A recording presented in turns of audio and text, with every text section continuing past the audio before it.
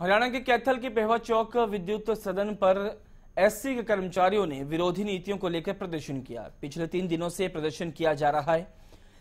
SC की कर्मचारी विरोधी नीतियों के चलते कर्मचारियों का रोष बढ़ता ही जा रहा है। कर्मचारियों ने कहा है कि सर्कल कार्यकारिणी की मीटिंग के दौरान जो भी मीटिंग में फैसला लिया जाएगा, अगर उसमें हमारी मांगों को पूरा नहीं किया गया तो पूरे शहर में इससे भी बड़ा प्रदर्शन किया जाएगा।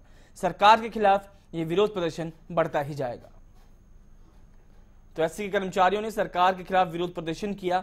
मांगे पूरी ना होने से कर्मचारियों में काफ़ी गुस्सा है, जिसके बाद सड़कों पर उतरकर उन्होंने मौजूदा सरकार के खिलाफ विरोध प्रदर्शन किया। है ने एससी साहब को कर्मचारियों की चार मांगों के बारे में मांग पत्र दिया था। उस पर बातचीत हुई और हमने आठ तारीख तक का एससी साहब को समय दिया था कि हमारी ये ये मांगे हैं। पहली मांग थी कि कैथल डिवीज़न से पुंडरी डिवीज़न में तीन जेईओ की ट्रांसफ़र की है। भाई, वो काम करने वाले और ईमानदार जेई थे। यहाँ अगर पुंडरी के अंदर ज़रूरत है और उधर एससी साहब पुंडरी डिवीज़न से गुला डिवीज़न में साथ में ऑर्डर कर रहे हैं कि सीनियरिटी के हिसाब से जो सीनियर है उसके ऑर्डर किए जाएँ, अन्यथा ये गलत है, इनको रद्द किया जाए।